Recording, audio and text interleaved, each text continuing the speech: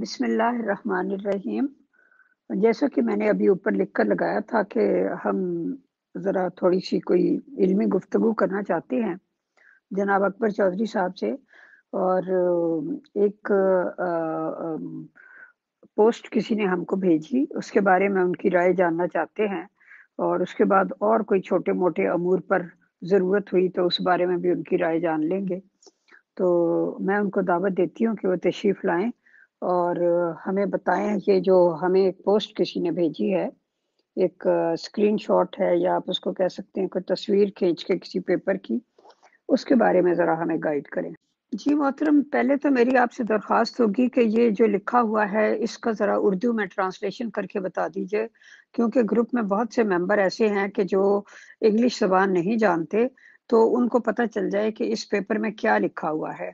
और उसके बाद फिर आप इसको एक्सप्लेन कीजिएगा प्लीज़ थैंक यू अस्सलाम वालेकुम मोहतरमा। जी ये बस चंद मिनट लेंगे। इसके बारे में थोड़ा सा डिस्कस कर लें।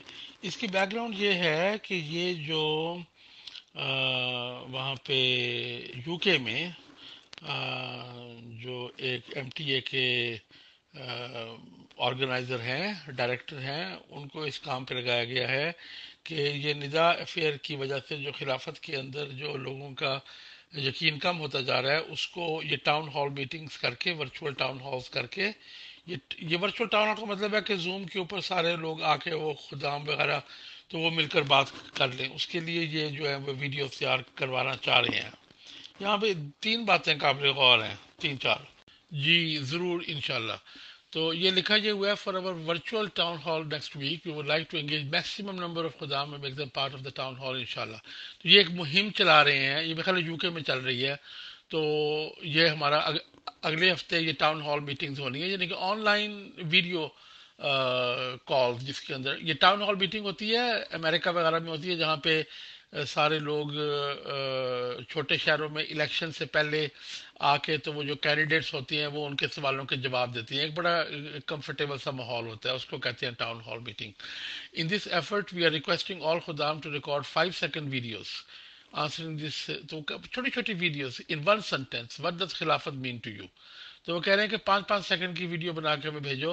सलाम करने की कोई ज़रूरत नहीं है। सेल्फी स्टाइल में बनाओ। जो है वो रोशनी जो है वो आगे से हो, पीछे से ना हो। टोपी पहनो और खुदाम का वो जो है स्काफ गले में जो बांधते हैं, वो पहनो। और तीन सेकंड का गैप रखो शुरू करने से। पहले और ख़त्म करने के बाद ताकि वो उसकी एडिटिंग कर सकें और सलाम करने की कोई ज़रूरत नहीं जिस तरह पहले बता चुके हैं। और फिर ये उनको टॉपिक्स दे रहे हैं सैंपल आंसर्स कि ये आप जवाब दे सकते हैं सैंपल्स हैं, ठीक है? ये उनके जवाब है। ये टॉपिक्स नहीं है, ये पाँच पाँच सेकंड की वीडियो है। There is no life without खिलाफत। खिलाफत हैज़ शेप माई लाइफ पहला ये, खिलाफत के बगैर कोई ज़िंदगी नहीं। खिलाफत ने मेरी ज़िंदगी को को सांचे में ढाला है या उसका, उसको रुख दिया है। खिलाफत जो है वो मेरी ज़िंदगी की सबसे बड़ी बरकत है। और मैं अपने तमाम ज़िंदगी और दिल से खिलाफत से प्यार करता हूँ। और खिलाफत अल्लाह की वो रस्सी है जिससे मुझे खुदा मिला है। तो please record the video and upload below या रिकॉर्ड करके इसको अपलोड कर दें या डायरेक्ट मैसेज कर दें। Ibrahim underscore V A अब ये पता नहीं, ये यूएस की है कि यूके की है? ये बार यूके में शुरू हुआ था, हो सकता है यूएस की हो। We would like to get a large number of खुदाम टू पार्टिसिपेट अब ये खुदाम को कह रहे हैं कि इसके अंदर ज़्यादा से ज़्यादा शमूलियत करें, ये पाँच पाँच सेकंड की वीडियो बनाकर एक एक फिक्रा जो है वो वो भेजें। आजकल मैं किताब पढ़ रहा हूँ, बड़ी ही मज़ेदार शानदार। और वो मुझे यकीन नहीं आता कि अब तक कैसे वो आँखों से ओझल थी। मैं उसका नाम आपको बता देता हूँ। तो ये किताब है God and man in the Quran, ये टोशीको युजुत्सु ने लिखी है, जापानी है, और ये ज़ुबान दान है। और ज़ुबान दान होने की हैसियत से ये कुरान की जो लैंग्वेज है, उसके ऊपर इन्होंने ये किताब लिखी है, और उसको सेमेंटिक्स का जो इलम है, जिसके अंदर कहा जाता है कि मानी क्या है उसके, अल्फाज के मानी क्या हैं, और उसके असल मानी क्या है, और रिलेशनल मानी क्या है। और कैसे कुरान में कंसिस्टेंट मानी है। इन साहब ने कुरान की सबसे अच्छी जैपनीज ट्रांसलेशन भी की हुई है। और ये जिस तरह मैंने लास्ट हफ़्ते वाले दिन इनका ज़िक्र भी किया था कि ये कनाडा में मगिल यूनिवर्सिटी में भी पढ़ाते रहे हैं और ईरान में भी पढ़ाते रहे हैं। तो बहुत ही बहुत ही समझदारी की किताब है। काश कि वो उर्दू में मैं कभी उसको बयान कर सकूँ।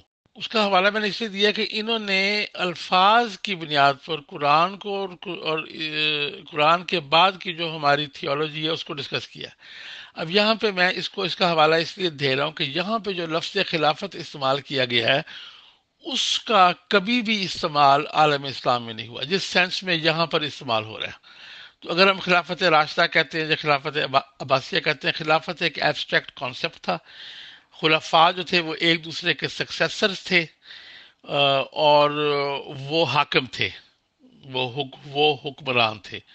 और खिलाफत से वाबस्तगी और खिलाफत से ये सीखा और खिलाफत से ये सीखा ये एक लफ्ज को नया कॉन्सेप्ट दिया जा रहा है।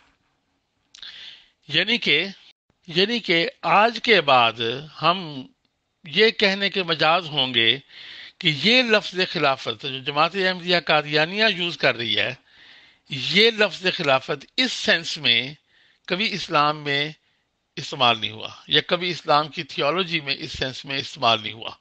वरना ये आई लव खिलाफत with all my life and death help shape my life it is rope to Allah ये कॉन्सेप्ट नहीं रहा। ना तो सूफिया की खिलाफत में रहा है, और ना ये अगर सूफी की भी है तो आप कहते हैं, जी, मैं उसका शगिर्द हूँ।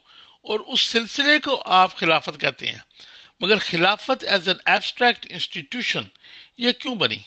जमात अहमदिया कादियानिया में नाअहली की वजह से इनके खुलाफा की नाअहली की वजह से इनको इंस्टीट्यूशन का नाम देना पड़ा। बजाय इसके कि ये कहें कि मैंने मिर्ज़ा महमूद से ये सीखा या मैंने मिर्ज़ा ताहिर से ये ये, ये सीखा या मैंने इन अकाबरीन से ये सीखा वो कहते हैं खिलाफत ने मुझे क्या दिया? तो यहाँ पे आप जरा देखें सिमेंटिक मीनिंग का फ़र्क दे, देखें। इसके मानवी मतलब को आप जरा जो है वो दाएँ बाएँ करके देखें उसको अब हर हर जाविये से देखें तो आपको ये साफ़ अया हो जाएगा कि ये सूफिया की तरह अब आप कहते हैं जी बाजीद बस्तामी से मैंने ये सीखा या अब्दुल कादिर जलानी के बकौल या जलानी तरीकत से ये ये मैंने सीखा या जो भी एक सूफिया की तरीकत वगैरह है उनसे मैंने उससे मैंने ये अखज किया। तो जो उसका मतलब है वो इलम अखज किया। यहाँ अब इलम नहीं बात हो रही। तो ये दूसरा पॉइंट है कि इलम को ये बिल्कुल बाईपास कर गए कि इलम ये, ये एक इंस्टीट्यूशन को डायरेक्टली ये पीरी फकीरी हो गई है। ये मॉडर्न पीरी फकीरी हो गई है और इसका ताल्लुक ना सूफिया की खिलाफत के कॉन्सेप्ट से है और ना सुन्नी खिलाफत के कॉन्सेप्ट से है। ये एक नया लफ्स बन चुका है और एक नई चीज़ बन चुकी है और ये जमात अहमदिया कादियानिया के खुलफा की इल्मी नाअहली की वजह से ये एक इंस्टीट्यूशन का नाम देना पड़ा है मेरे नज़दीक। अच्छा अब इसको डायरेक्टली आप अपनी लाइफ से और हार्ट से अटैच करके आप दिमागों को बंद कर रहे हैं, जान के। अब ये वो उम्र है और ये वो एज है खुदाम की पंद्रह से चालीस साल के जिसके अंदर लोग पढ़ रहे हैं यूनिवर्सिटियों में हैं वो कारोबार शुरू कर रहे हैं जॉब शुरू कर रहे हैं फैमिली शुरू कर रहे हैं। उन, उन्होंने जो कुछ सीखना है ज़्यादातर इसी उम्र में सीखना है। ये अंडरस्टैंडिंग और डिलीबरेशन गौर खौज और इलम के हसूल का का वक़्त है। मगर इन इन टॉपिक्स के अंदर और इन जवाबों के अंदर कोई सब्सटेंस नहीं है। कोई इसके अंदर मवाद नहीं है, कोई इल्मी चीज़ नहीं है, कोई मंतक नहीं है। ठीक है? सिर्फ़ एक अकीदत का इजहार है और उसको डायरेक्ट जज्बात के साथ अटैच करके उसको आप ये बेचना चाह रहे हैं। तो आपने वो इलम का भी निकाल दिया। यानी कि यानी कि वो जो एक इलम का ढकोसला था कि हम खुलाफा से इलम सीखते हैं, वो भी आपने निकाल दिया। क्योंकि इलम अब सीखते ही नहीं है। तो अब ये ये आजकल का जो मैसेजिंग है, जो पैगाम रसानी है, आजकल की, उसके अंदर वो इलम का टकोसला, वो रूहानियत का टकोसला भी आपने निकाल दिया और आपने डायरेक्टली इसको अल्लाह, बीच में एक ये एब्स्ट्रैक्ट कॉन्सेप्ट और मैं और उसमें इलम की कोई बात नहीं, उसमें और कोई बात नहीं, बस गैब से एक चेंज आ गई। यानी कि जिस तरह ये यंग जो खुदाम है जिनको इस तरह किसी लड़की से प्यार हो जाता है, उस तरह का प्यार ये खलीफा के साथ है। यानी कि बिल्कुल इरेशनल और जो वो, मैं इसलिए कह रहा हूँ लड़की, चूँकि ये ये खुदाम है अगर ये हजरा माउला का होता तो मैं वो दोनों को यूज़ करता। तो ये है कि अब उसको आप एक उस किस्म का स्पार्क या उस किस्म का लव के अंदर लेके आ रहे हैं, इसके अंदर कोई मज़हब कोई तसवुफ कोई ज़िक्र कोई जिक्रुल्लाह कोई इल्म ऐसी कोई चीज़ नहीं रह गई। तो ये इस जमात का माली सॉरी इसका इल्मी फुकदान और इसका इल्मी दिवालियापन और इसके जो लीडर्स हैं उनका टोटल बैंक्रप्सी जो है ना उसका ये गमाज है। और इस, इसको कहने में मुझे कोई मसला नहीं है। जी, मैं यहाँ पे एक सवाल है, वो ये कि खुलफाए राशदीन के ज़माने में भी जो बड़े से बड़े भी आलिम पैदा हुए, अव्वल तो आलिमों के पैदा होने, बढ़ने, फलने, फूलने, जहनी ग्रोथ पे उन लोगों की जो बड़े होके आलम बने, किसी किस्म की रोक नहीं थी ना। खुला एक खुली ज़मीन थी, खुला आसमान था, सोचों के तायर को उड़ने के लिए खुली फ़जाएँ दरकार थी, जिसके नतीजे में लोग बड़े बड़े आलिम पैदा हुए। लेकिन वो भी अगर कभी कोई बात करते थे सीखने सिखाने की तो ये कहते थे, हमने इस्लाम से ये सीखा, हमने कुरान से ये सीखा, हमने रसूल अल्लाह सल्लल्लाहु अलैहि वसल्लम की सोबत में हम बैठे तो हमने ये सीखा। तो इस तरह की बातें होती थी। वहाँ भी कभी ये नहीं कहा गया कि मैंने आज तक जितना भी नाचीज़ का थोड़ा बहुत मुताल है उसमें खिलाफत के इंस्टीट्यूट को या खलीफा को आ, उसकी ज़ात को अहमियत देने की कभी भी कोशिश नहीं की गई। ये मेरी आ, रीडिंग है। इस बारे में अगर आप कुछ कहना चाहें। और दूसरी बात मैं सॉरी टू से अहमदियों से माजरत के साथ मैं ये कहती हूँ कि खिलाफत के हवाले से बजाय कॉन्फिडेंस के अगर कॉन्फिडेंस है तो वह एक रैशनल किस्म का है, लेकिन एक इनसिक्योरिटी सी ज़्यादा नज़र आती है, जो तबका ऊपर का क्रीम जो है जो लोग पॉलिसी मेकर हैं वो उनके अंदर एक अजीब किस्म की इनसिक्योरिटी नज़र आती है कि यानी इतना इस बात को कि खिलाफत से सारी बरकतें वाबस्ता हैं, खिलाफत हमारे सर पे साया है, खिलाफत ये है, खिलाफत वो है। जो खुदा ताला को भी लगता है कि कोने में डाल दिया गया, भाई सर पे साया है तो खुदा ताला का साया है, हर इंसान के सर पे। उसके ज़ाती गमों तकलीफ़ के लम्हों में खुदा है जो उसको सहारा देता है। खुदा के एहसानात हैं हमारी ज़ात पर। लेकिन वो खुदा भी कहीं पसे पुछ चला जाता है। ये इनसिक्योरिटी जो है, इसकी क्या वजह है? जी, बिल्कुल मोहतरमा ये यही फैक्ट है। अब मेरे इलम के मुताबिक हज़रत उमर इबन ख़ताब हज़रत हज़रत अली करमला वजह और हज़रत उमर बिन अब्दुल अज़ीज़ रही इनके अलावा मेरे ख्याल में किसी खलीफा ने भी आ, जो है इल्मी मैदान में कदम नहीं मारा और लोगों की रूहानी जिंदगियों में कदम ही नहीं मारा। वो तो ये उलमा के मसलों को सुलझाते रहे। वो तो रियासत के रियासत के थे खुलफा थे यानी कि वो सक्सेसर थे उस स्टेट के। और जहाँ पे इल्मी मैदान है तो इन तीन के अलावा मुझे और कोई भी नहीं मिलता। ये तमाम खिलाफतों पे मैं नज़र दौड़ा कर देख रहा हूँ और मुझे जेन में कोई भी नहीं आ रहा। सिवाय खिलाफत उस्मानिया में शायद उस्मान अव्वल जो हैं, जिन्होंने उसकी उसकी बुनियाद रखी, वो फिर मुझे इंडिया में औरंगज़ेब आलमगीर हाँ इनके अलावा मतलब कि इनके अलावा नहीं मिलता। जहाँ भी ये खिलाफत रही या ये बादशाहत रही, ये ऐसे रही। और आपका बिल्कुल बात सही है कि उन्होंने उलमा को पनपने दिया, इन्होंने उलमा को दबा के रखा, क्योंकि झूठ है। मतलब कि इनकी थियोलॉजी झूठ है। अब इन्होंने वो भी दबा के नहीं रखा कि इलम इलम सीखा। ये मिर्ज़ा ताहिर अहमद की मजलिस इरफान होती थी। वो कहते हैं, हमने मजलिस इरफान से ये सीखा। कभी उस वक्त ये खिलाफत ये ये ये, ये नहीं कहते थे हमने खिलाफत से ये सीखा। मिर्ज़ा ताहिर के दौर में ये टर्मिनोलॉजी नहीं यूज़ हो रही थी। इसीलिए मैं कह रहा हूँ कि ये नई टर्मिनोलॉजी है। इसका किसी इस्लामी खिलाफत से या कादियानी खिलाफत से भी कोई ताल्लुक नहीं है। ये खिलाफत खामसा की इंटेलेक्चुअल बैंक का नमूना है और ये इसी तरह ये फेल होगी। क्योंकि ये इस तरह की चीज़ जो है ना वो कायम नहीं रह सकती। बल्कि मज़ीद ये कि जिस तरह सिलसिले होते हैं जैसे सिलसिला अहमदिया है इस तरह सिलसिला चिश्तिया है सिलसिला कादरिया है सिलसिला नक्शबंदिया है तो उनके भी जो फॉलोअर्स होते हैं जो वहाँ से अपनी कोई रूहानी गज़ा हासिल करते हैं वो भी उस सिलसिले का नाम लेते हैं ना। आ, मेरा मतलब है कि उसमें जो गद्दी नशीन होते हैं उनके फिर आहिस्ता आहिस्ता जो बनते चले आते हैं उनका उनका या उस गद्दी नशीनी को, मुझे नहीं आई डोंट नो क्या कहते हैं, उसका नाम नहीं लेते, उस सिलसिले का नाम लेते हैं। तो यहाँ भी अगर इस सिलसिले की अहमियत ज़्यादा है और जो कि होनी चाहिए, सिलसिला अहमदिया तो फिर भी अगर बात करनी चाहिए तो ये करनी चाहिए कि सिलसिला अहमदिया ने हमें ये दिया। सिलसिला अहमदिया से जुड़ के हमें ये ये फ़ायदे हासिल हुए रूहानी फ़ायदे हासिल हुए। वगैरह वगैरह। तो यहाँ एक एक गैप सा नज़र आता है कि उस सारे को क्रॉस करके, छलांग लगा के, खिलाफत पे आ जाना, जो कि उसके बाद की पैदावार थी, जबकि जो बानिय सिलसिला थे, वो भी दुनिया से जा चुके थे, और उनके बाद जो उनके पहले जानशीन थे वो भी जा चुके थे तो उसके बाद ये निज़ाम और सिलसिला कायम करना और फिर सिलसिले को इतनी अहमियत देना कि, सॉरी, निज़ाम और ये खिलाफत कायम करना और फिर इसको इतनी अहमियत देना कि इसको सिलसिला अहमदिया को भी कहीं पीछे छोड़ देना, ये सारी बातें जो हैं, ये थोड़ा सा जहन में एक खलफशार पैदा करती हैं। यहाँ मैं वही कहता जाऊँगा कि जो कौले कौले तैयब है, वो असलुआ साबित व फरुहा समा। वो वो वो पनपती है। और जो कौल खबीस है ठीक है वो ज़मीन से उखाड़ी जाती है। ये क्या मुझे आयत याद नहीं आ रही? आ, आ, कि उसको खरार नहीं होता।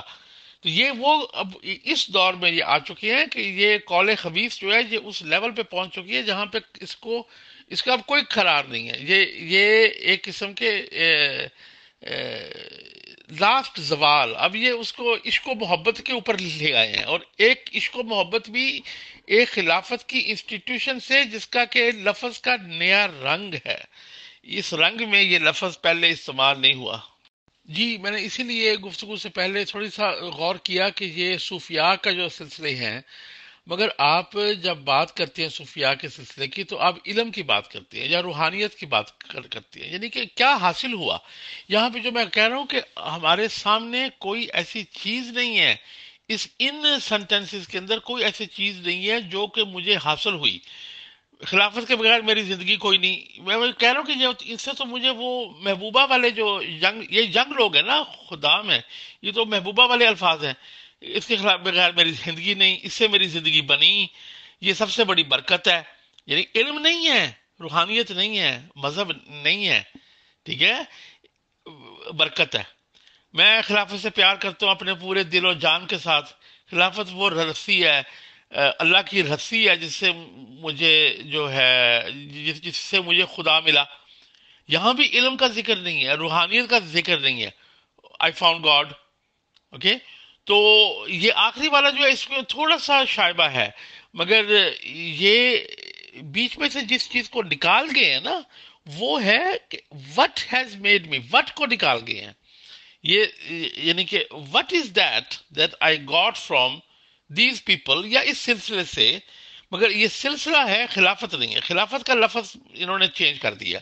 अगर ये सिलसिला कहते तो चलो फिर भी होता है कि सिलसिला अहमदिया से मुझे वो इल्म मिला, या मुझे वो कुरान की वो इल्म मिला, या मुझे वो रूहानियत मिली, या मुझे वो ज़िक्र की तोफीक मिली मतलब जो भी चीज़ें हैं इंसान के दीन के अंदर लाजिम मलजूम उनका ज़िक्र जो है वो निकाल दिया गया। जी, ये जो आयात हैं इनके अंदर सूरह रात की मेरा ख्याल या सूरह इब्राहिम की मुझे याद नहीं आ रहा। इनके अंदर जो है, वो तमसील कलिमा की है कि कॉल जो है कलिमा तो थजिबा और कलिमा तो खबीसा। और उसकी मिसाल दी गई है, शजरा थजिबा और शजरा खबीसा से कि जिस तरह शजरा जो है, दरख्त जो है, वो उखाड़ा जाता है। अब ये, सॉरी, इसमें मैं उस बहस में नहीं पढ़ना चाहता जिसमें हमारे अहल तशी लोग इसको लेके आते हैं। मैं सिर्फ़ इसका जो एक ज़ाहरी मैनी है, उनकी मैं बात कर रहा हूँ। तो वो वाकई अब हमें लग रहा है कि ये जो शजरा खबीसा है, इसके पास अब देने के लिए कुछ नहीं है। इसके पास अब वो फल, ये फलदार दरख्त नहीं रहा क्योंकि फल का ज़िक्र ही नहीं है। ये सिर्फ़ एक जज्बात भड़का के एक बहुत ही, मैं कह रहा हूँ, ये वो लोग हैं, वेस्ट के, जो इस उम्र में इलम हासिल कर रहे हैं, यूनिवर्सिटियों में हैं एमए कर रहे हैं पीएचडी कर रहे हैं जॉब सीख रहे हैं कैरियर एडवांस कर रहे हैं उनको आप सिर्फ़ दीन को एक प्यार मोहब्बत ले आए हैं। एक एब्स्ट्रैक्ट वर्ड के साथ खिलाफत के एब्स्ट्रैक्ट वर्ड के साथ आप एक प्यार मोहब्बत का एक जो है ना वो हिस्से में ले, ले आए आपने दीन को सिर्फ़ एक पीरी फकीरी बना दिया है। और एक खानदान को या एक गद्दी नशीन को आपने कहा कि जी मुझे जो कुछ मिला है ये से मिला है। ये हंड्रेड परसेंट पीरी फकीरी हो गई है क्योंकि जो पीर फकीर होते हैं और वो भी उन पीर फकीरों के जो आलम नहीं होते।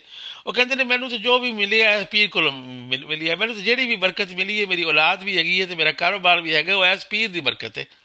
ये वो वाला कॉन्सेप्ट है। इसलिए मैं कह रहा हूँ कि अब सिवाय पीरी फकीरी के इसके अंदर कोई दीनी इल्मी इसलाही पहलू नहीं रह गया। ये मैं फिर एक दफ़ा रिपीट कर दूँ कि जाहिल लोग जो कि गैर आलिम पीरों को मानते हैं वो इस किस्म की लैंग्वेज इस, इस्तेमाल करते हैं। मेरी तो कोई ज़िंदगी नहीं अपने पीर तो बगैर। ये there is no life without खिलाफत। खिलाफत हैज़ शेप माई लाइफ मेरी ज़िंदगी की तो बनी मेरी ज़िंदगी तो बनी ए पीर के नाल। ठीक है? खिलाफत is the biggest blessing in my life मेरी ज़िंदगी से बरकत खिलाफत डाली मेरे से पुत्र भी हो ने तो मेरा तो कारोबार भी चम चमके है पीर के नाल। ठीक, अब आपको समझ आ रही है मेरे कि मैं क्या कहना चाह रहा हूँ? शायद मैं ये पहले कह देता। ठीक है? आई लव खिलाफत with all my life and heart मैनू तो जी पीर मेरी मेरी तो जिंद तो मेरा दिल जरा ना, वो एस पीर का है मैं तो मैं तो ओदा ही है ठीक है ना? तो खिलाफत is a rope of Allah that help me found God यहाँ पे थोड़ा सा एक रिलीजियस पहलू आता है। कि मगर ये कि खिलाफत वो अल्लाह की हँसी है, जिससे कि मुझे खुदा मिला। मगर यहाँ भी दीन का ज़िक्र या इल्म का ज़िक्र नहीं है। वो खुदा कैसे मिला? बस वो मैंने खलीफा को देखा, मुझे ख्वाब आई, मुझे खुदा मिल गया। तो मेरा ख्याल है ये जो आखिरी मैसेज है ना, ये जिसमें मैंने पंजाबी पीर को जो है थोड़ा सा पैरोडी की है, ये इससे समझ आएगी ये लफज बदल गया है, ये कॉन्सेप्ट ही बदल गया ये अब कोई, ना ये सूफी सिलसिला रहा है, ना ये दीनी सिलसिला रहा है। ये एक सिर्फ़ अनपढ़ पीर और उसके जो है मुरीद उनको जो है वो ब्रेन वॉश करना और उनको बिल्कुल जाहिल करने वाली बात है। पर वो जाहिल नहीं बनेंगे क्योंकि ये वो वेस्टर्न कंट्रीज़ के 15 से 40 वाले लोग हैं जो यूनिवर्सिटियों में जॉब्स में आ, आ रहे हैं। They will not fall for this वो बेशक दो चार रिकॉर्ड कर दें मगर वो अपने आप को डम डाउन इसे कहते हैं इंग्लिश में डम डाउन बेवकूफ़ करना। वो इसमें इस ट्रैप में नहीं आएँगे। जी मोहतरम मैं इसमें ये ऐड करना चाहूँगी। आपने कहा कि ये एक टीन एज प्यार मोहब्बत वाला जो जिस तरीके का वो होता है वो कॉन्सेप्ट इस तरह दिया जा रहा है कि यानी कि कोई रेशनैलिटी वगैरह नहीं है। लेकिन मुझे जो इसमें ज़्यादा चीज़ अजीब लगी वो ये है कि जो आंसर्स हैं, अगर आप एक चाहते हैं कि लोगों से क्वेश्चन पूछें और लोग अपनी मर्ज़ी से आंसर दें तो जो लोग फील करते हैं, उनको वो आंसर देने देना वो सेल्फियाँ बना के भेजने दें, उनको मौका दें कि भाई आप क्या फील करते हो। उनको सैंपल देना कि आप आंसर्स इस इस किस्म के दे सकते हो कि there is there is no life without खिलाफत। खिलाफत हैज़ शेप्ड माई लाइफ तो मेरा मतलब है कि आप उन्हें आंसर्स क्यों बता रहे हो? आप आंसर्स उनके मुँह में डाल रहे हो कि यानी ये चंद आंसर्स हैं ये सैंपल आंसर्स हैं आपने इसके अंदर अंदर रहना है। क्योंकि अगर कोई मेरे जैसा हो और उसके सामने ये सवाल आएगा तो उसका वो एक सोच में पड़ जाएगा अच्छा मुझे सोचना है खिलाफत ने मुझे क्या दिया? तो आ, उसके बाद वो सोचेगा और उसके जहन में जो ओरिजिनल जवाब आएगा वो कहेगा ये है मेरा जवाब। अब मेरे जवाब को कोई आ, आ, ये नहीं मुझे डिक्टेट कर सकता कि तुम ये जवाब क्यों दे रहे हो। अगर आप मुझसे एक सवाल पूछते हैं आप मेरे दिल से जो जवाब उठेगा आप वो जब वो जवाब सुनेंगे हो सकता है वो फेवर में हो हो सकता है वो किसी सोच पे मबनी हो हो सकता है मेरे जवाब में एक और सवाल छुपा हो। मेरा ये कहने का मतलब है कि वो जो जहनी आज़ादी इंसान को सोचने की दी जानी चाहिए। यहाँ पे उसको सलब किया जा रहा है। बिल्कुल। आपने ये पहले भी पॉइंट रेज किया था और मैंने उस पर इलेबोरेट नहीं किया। कि ये इनकी ये इनकी जो है ये घबराहट है कि ये खिलाफत का जो है ये यंग लोगों के अंदर अब वो मकाम या जो तकदस है क्योंकि ये जो ब्यूरोक्रेसी है ये इसने ये आइडिया ले ले लेके आई है।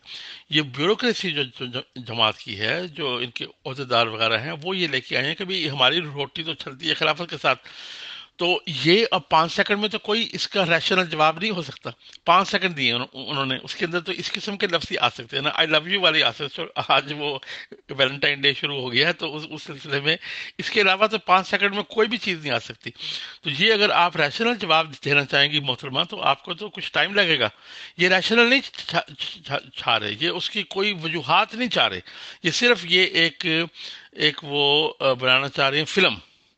एक एक फ़िल्म बनाना चाह रहे हैं जिससे ये अपनी गिरती हुई खिलाफत को संभालना चाह रहे हैं।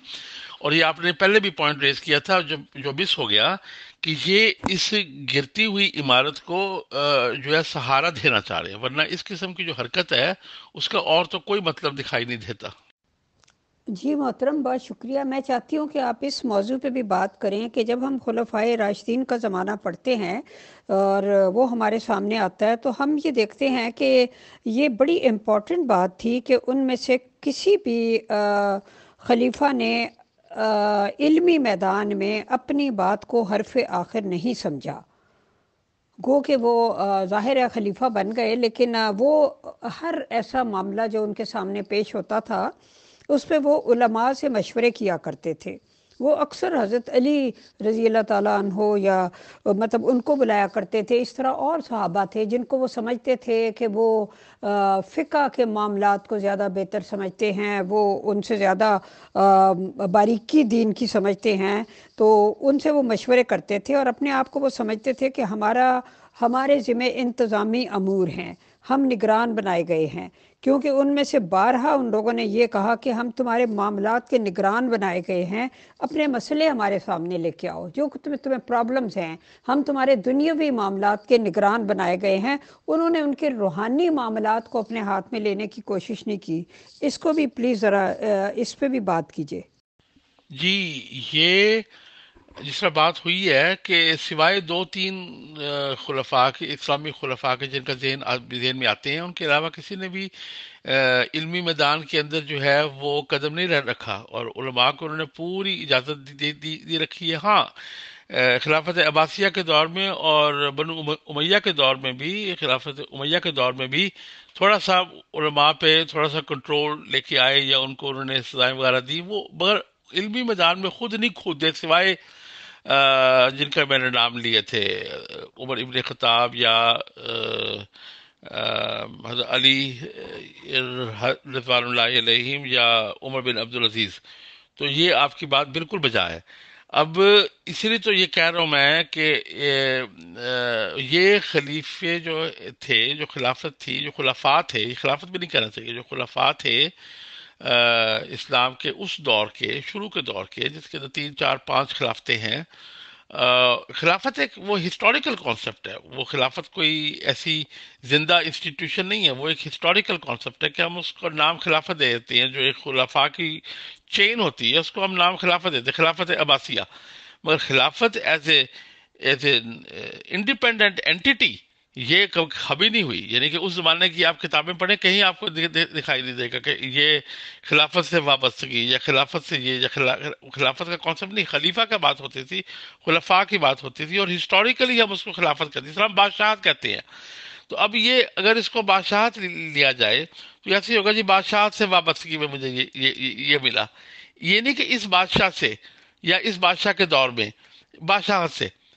ये इस किस्म का लगव कॉन्सेप्ट है ये जो मौजूदा खिला, खिलाफत का है। फिर हम सूफिया में भी आते हैं तो वहाँ पे भी हमें ये कॉन्सेप्ट नहीं मिलता। तो आपने बिल्कुल बजा फरमाया कि वो खुलफा जो है वो हुक्मरान खुलफा थे। और जो सूफिया के खुलफा है वो रूहानी सिलसिले में परोए हुए थे। तो ये ये कॉन्सेप्ट जो है, ये नया कॉन्सेप्ट है। इसका उस खिलाफत से कोई ताल्लुक ही नहीं है। ये लफज ही, लफज वही है, पर इसके मानी बिल्कुल अलग हो गया ये सिर्फ़ पीरी फकीरी हो गई है। और इसके अंदर अब आप देखें कि जब पीरी फकीरी भी शुरू होती है तो वो किसी सूफी तरीकत से शुरू होती है। मगर जो जो उसमें जहालत आती जाती है, वो सिर्फ़ एक शख्सियत परस्ती बन जाती है। तो अब ये मुकम्मल तौर पर चूँकि ये भी एक पीरी फकीरी का सिलसिला था जो एक रूहानी कड़ी समझी जा रही थी। इसका वो इस्लाम की खिलाफत उला से तो कोई ताल्लुक ही नहीं है क्योंकि वो तो एक हुक्मरान खिलाफत थी। ये तो कभी हुक्मरान रही नहीं है उससे ताल्लुक नहीं है। जो थोड़ा बहुत ताल्लुक है वो सूफी खिलाफत से है। और वहाँ भी यही हम दे, देखते आए हैं कि जब वो गद्दी नशीन जो हैं वो इलम से बेबहरा हो गए तो उन्होंने बस अपने वो अपनी गद्दी को जो है वो उन्होंने जो है वो उभारा। तो इसी तरह ये गद्दी को उभार रहे हैं।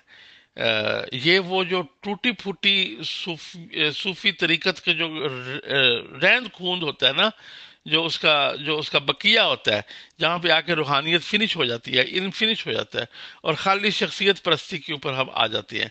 ये आपको देखा होगा पाकिस्तान में रिक्शे पे बड़ी बड़ी तस्वीरें लगा के वो वाला काम ये ये, ये शुरू हो गया कि रिक्शे के पीछे वाले जो इश्तहार होते हैं ना जिनके अंदर कहा जाता है जी फलाने पीर का उर्स है जी।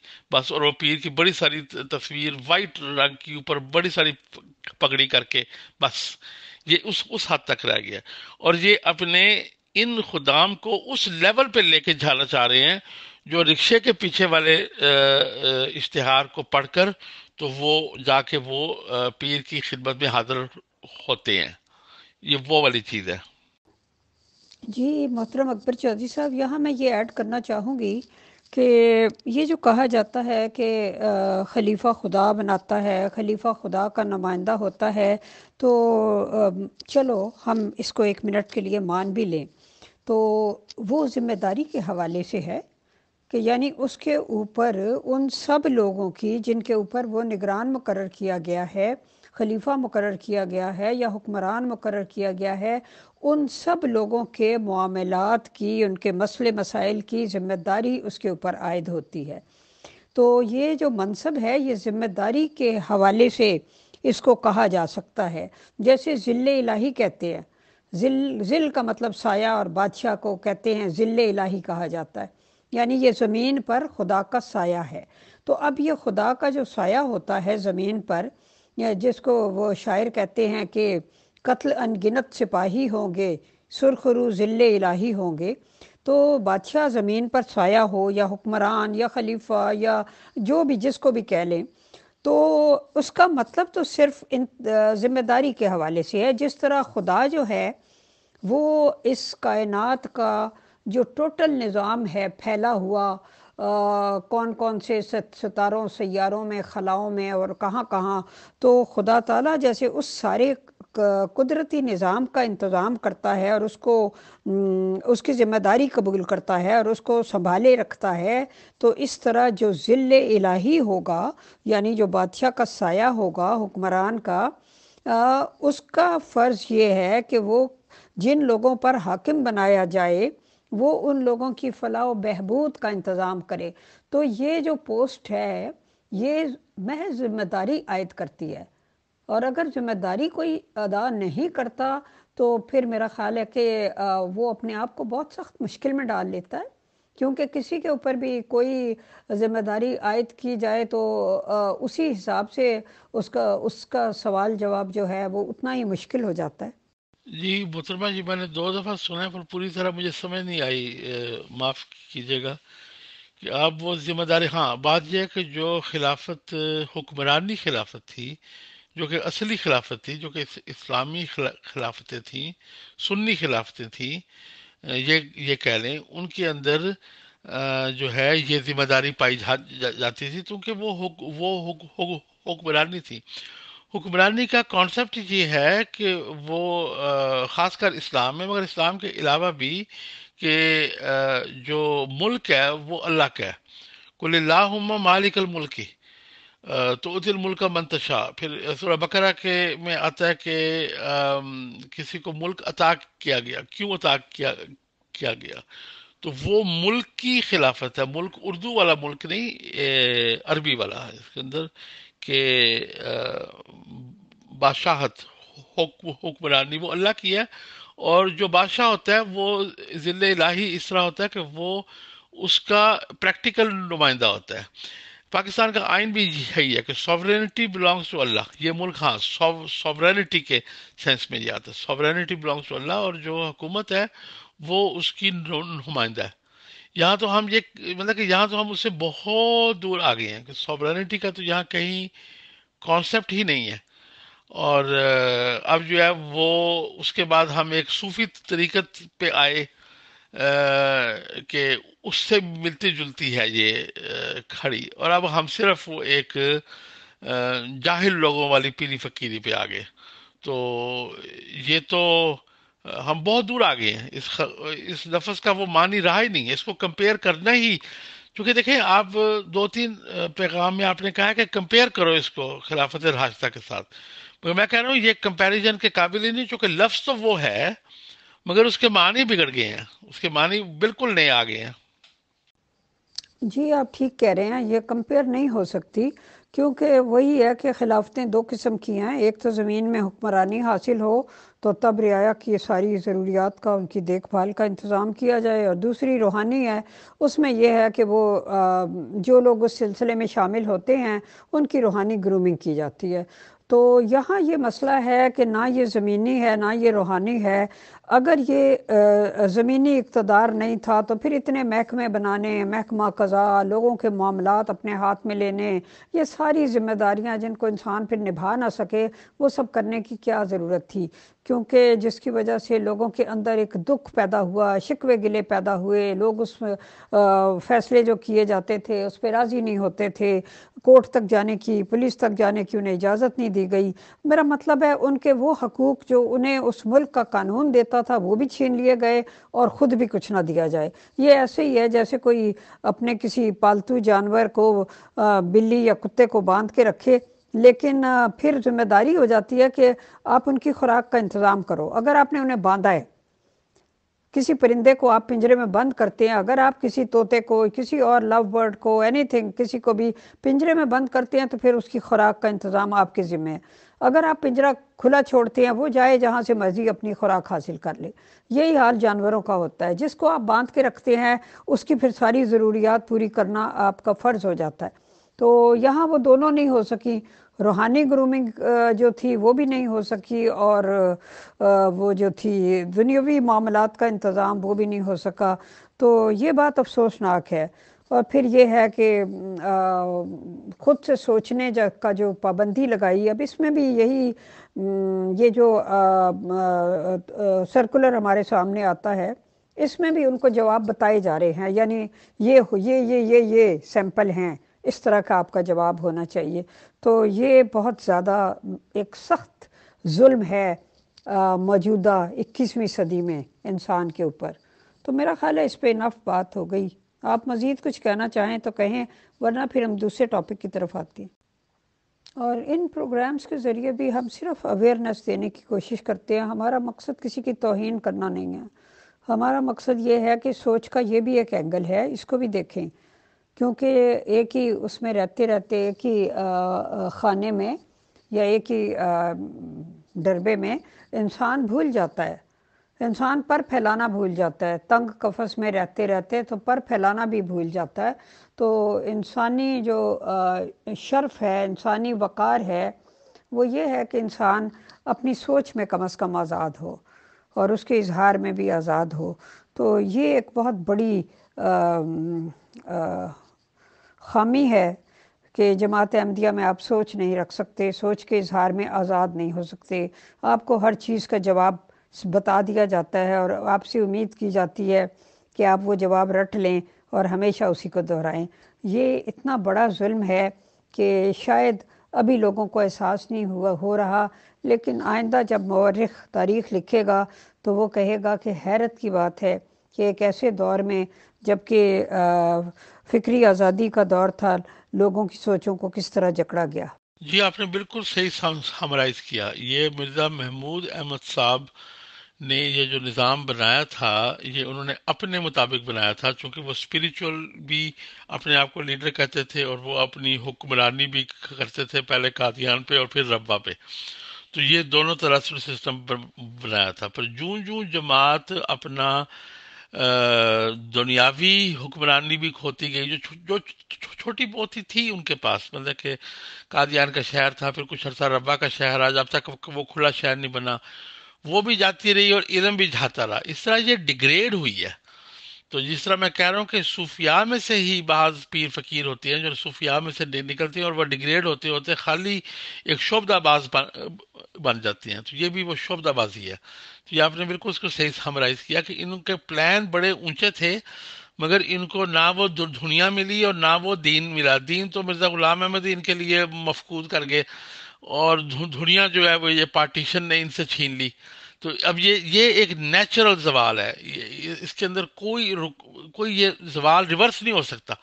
क्योंकि ना इसके अंदर वो इल्म और रूहानियत है और ना इसके अंदर ज़मीन पे हुक हुक हुक बनानी है। तो ये आपने सही समराइज किया।